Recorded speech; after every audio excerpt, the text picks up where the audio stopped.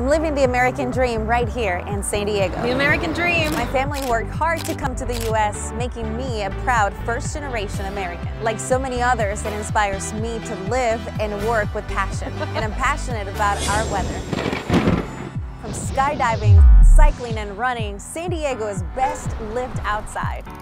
Giving you an accurate forecast means we're better prepared to enjoy the outdoors together. Continue warming up. Calling San Diego home is really a dream come true.